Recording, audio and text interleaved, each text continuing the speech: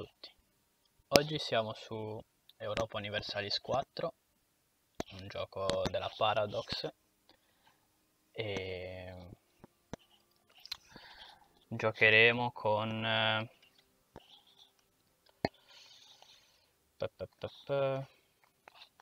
non lo so, vediamo, allora facciamo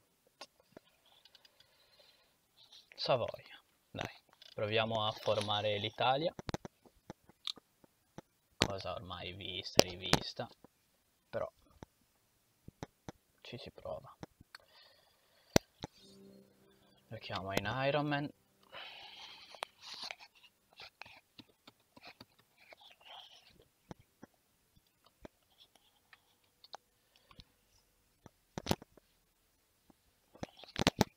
Allora.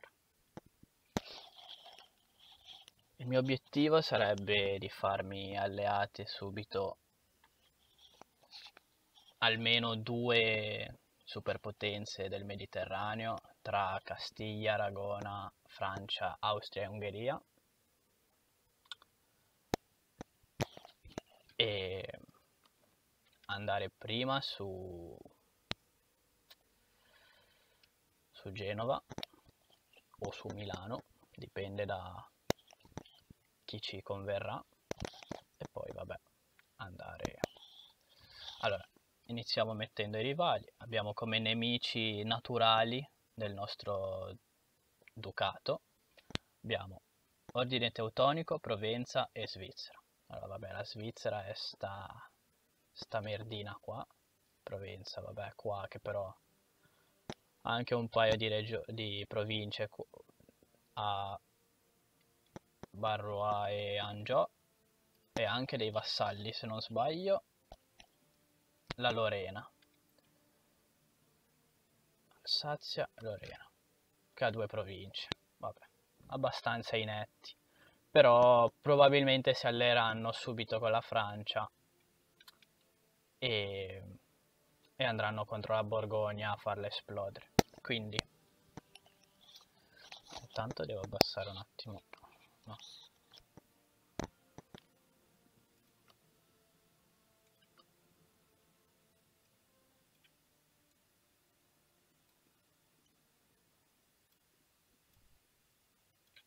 ok allora poi gli altri erano l'ordine teutonico qua sopra quindi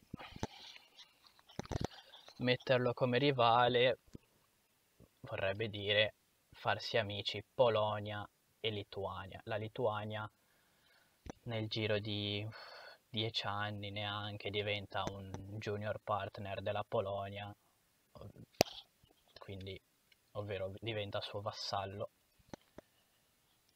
Quindi la Polonia div potrebbe diventare un ottimo alleato anche in chiave anti-austriaca, perché l'Austria poi prenderà Ungheria e Boemia e l'Austria ricordiamo, è imperatore del Sacro Romano Impero. L'imperatore è austriaco. E qua ci sono tutti i vari stati che eleggono l'imperatore, gli elettori, principi elettori. Noi adesso facciamo parte dell'impero, se non sbaglio, sì, fino al 1490, dove c'è lo Shadow, Shadow Kingdoms, dove pratica c'è la rivolta dei, degli, degli, stati, delle città del, del centro nord Italia contro l'imperatore. E quindi, allora, dicevamo, mettiamo rivali, direi ordine teutonico per migliorare le relazioni con la Polonia. Poi direi anche ehm, direi Genova e Milano. E questo ci Bene, abbiamo come vassallo il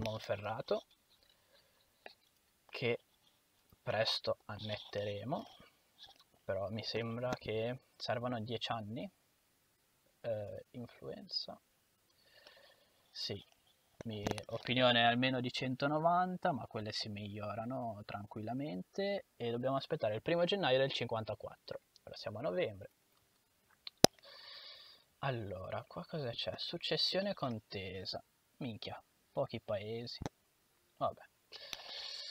Ma tanto poi si risolvono sempre quei problemi. Abbiamo un buon duca, un erede inetto ma non troppo, perché ha zero di abilità militare che è un po' schifosa. Allora, in pratica questo gioco si basa su tre poteri quello amministrativo, quello diplomatico e quello militare, che poi si vedono anche qua sopra. E noi abbiamo un, un guadagno mensile di 6 punti di potere amministrativo, 8 punti di potere diplomatico e 5 di militare. Questi poteri servono per molte cose. Allora, innanzitutto per lo sviluppo delle tecnologie e anche delle dottrine. Le tecnologie ovviamente migliorano quelle militari, la qualità dell'esercito, le, le, tipologie di truppe, poi adesso abbiamo soltanto cavalleria e fanteria, perché siamo nel 1444. Poi alla Tech 7 militare, se non sbaglio, sblocchiamo l'artiglieria. Sì, alla 7 sblocchiamo l'artiglieria e poi pian piano sblocchiamo anche nuovi tipi di cavalleria, di fanteria sempre più moderni. E abbiamo anche dei boost alle varie armate, tipo adesso alla Tech 4 militare avremo tattiche militari più 0,25% e morale dell'esercito più 0,50% che fidatevi fanno la differenza. Io mi sono trovato una partita in cui avevo la Russia, avevo la Moscovia che poi è diventata Russia, avevo conquistato tutto qua, tutto, tutto, tutto, avevo distrutto, ero andato anche ad est e poi sono entrato in guerra contro la Danimarca. Ovviamente la Danimarca parte con due vassalli, tre in realtà, Holstein però lo annette subito, la Svezia e la Norvegia. La Svezia 99 su 100 si ribella perché è così che poi farà storicamente, diventerà indipendente anche perché basta guardare la Danimarca, la Svezia. E vabbè, io avevo supportato l'indipendenza della Svezia e avevamo vinto la guerra e, e poi ero, mi c'ero alleato. Dopo un po' la, la, la Svezia non, eh, non è entrata in una mia guerra difensiva, quindi abbiamo rotto l'alleanza e, e quindi la Danimarca, che poi nel frattempo si è alleata con gli ottomani, ha deciso di attaccare la Svezia, fatta esplodere. Poi allora anch'io ho deciso di attaccare la Svezia e l'ho fatta esplodere. Però poi il fatto che, a cui volevo arrivare è che la Danimarca aveva la tech militare eh, 14 o 15, non mi ricordo, io avevo soltanto la 11-12 quindi ero sotto di 2-3 tech militari. E nonostante io avessi il doppio, il triplo dei loro soldati, alla fine ho dovuto fare una pace bianca che in sto gioco non è molto conveniente perché se perdi un, molti uomini, ti indebiti da far schifo, alla fine era stata una sconfitta, solo che per fortuna non ho, non ho perso niente e volendo l'avrei potuta continuare quella guerra perché alla lunga l'avrei potuta vincere perché nel frattempo gli ottomani non erano entrati perché mi avevano appena fatto una guerra di coalizione che ho deciso di, di perdere ho, ho, rilasciato un sacco di stati tutti questi staterelli schifosi che ave, ero riuscito ad annettere nel, nel, nel corso degli anni però vabbè, intanto me li sono già, me li ero già vassalizzati tutti nel, nel giro di neanche un anno, quindi non era stata una gran perdita. E perché mm, sì, in questo gioco si possono fare eh, guerre di coalizione. Che cosa sono le guerre di coalizione? Allora, se tu ti espandi troppo velocemente e troppo aggressivamente, poi guadagni un'espansione aggressiva che non fa mai bene. Adesso ho un'aggressione, un'espansione aggressiva dello 0 su tutto perché non mi sono ancora espanso. Però se io mi mettessi ad annettere completamente Milano, no perché non, ho, non avrei abbastanza war score, ov- ovvero punteggio di guerra. Se mi mettessi ad annettere tre quarti di Milano, poi subito dopo vado contro Genova, gli prendo la Liguria e la Corsica. Genova ovviamente sopravvivrebbe perché avrebbe ancora la Crimea e queste isolette schifose nell'Egeo, ma vabbè. Però queste sono le, le tre province con più punteggio di guerra per Genova, ovviamente. Sono anche le più sviluppate. Poi vado subito su Lucca, Firenze, tutto, vado anche sulla Provenza, tutto nel giro di 5-6 anni, no, fai anche 10, cap- capite bene che poi le, anche gli staterelli schifosi da una provincia, ma anche le, le grandi potenze dicono aspetta un attimo, cioè, eh, che cazzo stai facendo? E quindi possono farti una coalizione se superi il 50, i 50 punti di eh, espansione aggressiva. E, e quindi poi diventa un bordello se poi non hai neanche hai anche gli alleati che ti tradiscono durante le guerre, cioè in questo gioco succede sempre, tranne in multiplayer. Cioè in multiplayer succede, però è già un po' più difficile, perché vabbè dipende da con chi ti trovi a giocare. E invece nel, nel, con il computer eh, tendono sempre a tradire. Cioè, io mi sono trovato sempre in, con almeno una grande potenza che, che mi tradiva e quindi mi trovavo sempre in guerre con la metà o addirittura un terzo degli uomini rispetto al, a, ai nemici. Vabbè, allora, iniziamo. Allora, abbiamo due mercanti, due diplomatici e eh, una flotta, che però io direi per adesso di... Allora, cosa abbiamo? Un mercantile, tre galee e sei trasporti. Ah, allora, il mercantile lo mandiamo a proteggere il commercio.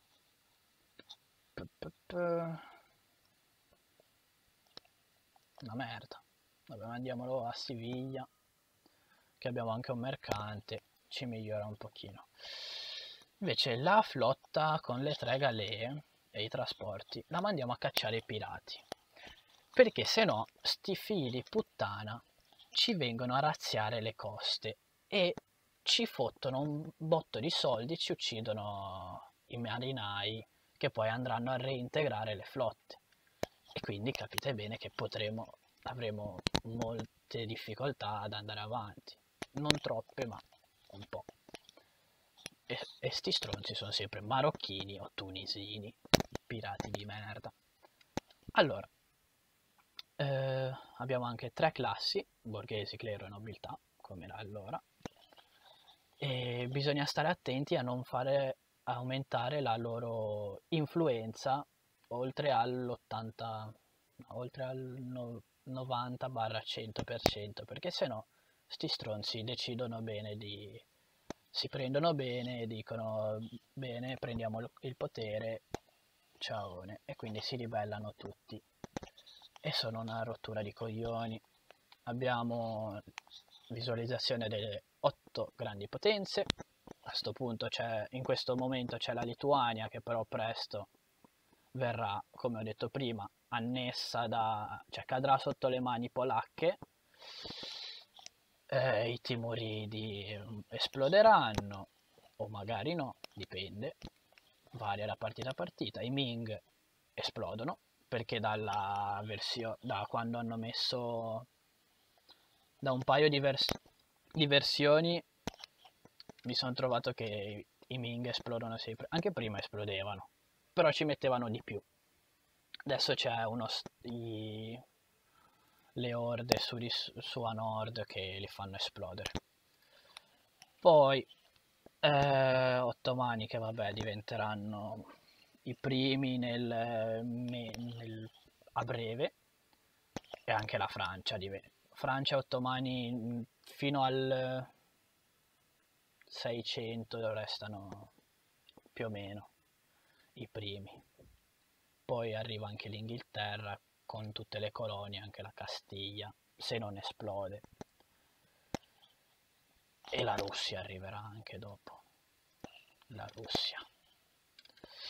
Allora, eh, direi innanzitutto partiamo con il miglioramento delle relazioni. Ecco, infatti la Francia si è già alleata con la Provenza. Quindi direi, se possiamo allearci, anche noi ci alleiamo con la Francia. E direi anche di allearci con l'imperatore, in quanto noi siamo nell'impero, almeno fino al 1490 direi dire che ci convenga restare alleati. Però eh, dobbiamo aspettare e sti stronzi però adesso non ce l'accettano, quindi miglioriamo le relazioni. Direi di spostare innanzitutto questo... no, questo esercito qua nella capitale va bene.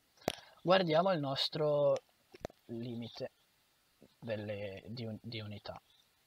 Abbiamo 11 armate reggimenti su 15 massimi. Sono 8 fanterie e 3 cavallerie. Direi facciamo un bel 4 10 5. No.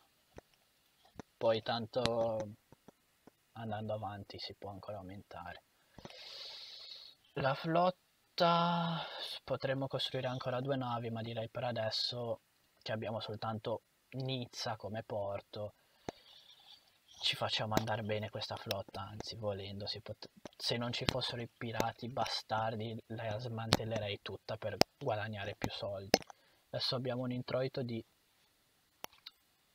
0,88, quindi diciamo che fa abbastanza schifo. Vediamo i mercanti, se si può migliorare qualcosa. Ne abbiamo uno a Champagne che porta giù a Genova. Genova è il nodo principale. Genova e Venezia sono i due nodi più ricchi del mondo a inizio partita, poi pian piano diventano ovviamente perdono di importanza quando si scopre il nuovo mondo e oppure anche quando, quando si, poi si arriva in India e nei Caraibi perché lì c'è un botto di oro e di, e di risorse preziose. E il nodo di Genova è bello grande e noi siamo non siamo neanche i primi 5, facciamo abbastanza schifo. Dobbiamo migliorare questa situazione. Abbiamo cioè, vabbè, uno schifo. Quindi direi sì, vabbè per adesso ce li possiamo andare a fare ce li possiamo far andare bene questi due mercanti allora eh, andiamo a vedere poi allora le dottrine si sbloccano alla tech militare no alla tech amministrativa scherzavo 5 pri il primo slot poi la, il secondo a 7 il terzo a 10 poi e, e così via. Allora io direi vado sempre di qualità commerciali. Le commerciali le, le uso più quando, uso, quando gioco con le repubbliche magari con Genova o con le repubbliche qua del um, olandesi dove non, magari non voglio fare una partita dove mi espando e conquisto tutto il mondo, voglio puntarla più sul commerciale, diventare il più ricco e poi magari fare un esercito potente e, e poi conquistare dopo tutto il mondo. E allora appunto tutto sui mercanti, su potere commerciale, efficienza commerciale, questa roba qua. Adesso con un ducato andrei di economiche, vista anche la nostra situazione abbastanza critica, ma tanto si vedremo dopo se andare prima di qualità o di economiche. Vorrei poter raggiungere una una base economica mm, decente solo conquistando sti stati schifosi intorno a me e quindi doverle, poterle prendere come seconde le economiche. Però vediamo perché magari poi potremmo anche prendere no le umaniste le prendiamo dopo innovative anche queste sono utili però partendo in Italia le istituzioni almeno le prime due che sarebbero ora le faccio vedere qua. Allora la prima vabbè il, feudale, il feudalesimo che in Europa è, esiste già. Ecco. Infatti le, tutti gli stati europei hanno dato, adottato gli, le, il, feudale, il feud, feudalesimo. Soltanto qualche stato inetto qua nel nel sud-est asiatico e forse qualcuno in Africa e i nativi americani, penso che non abbiano il feudalesimo. Adesso nel 1450 in teoria dovrebbe, ecco infatti 1450, dovrebbe nascere il Rinascimento, che sa, nasce di solito nel, in Italia. È difficile che nasca da altre parti, però non impossibile.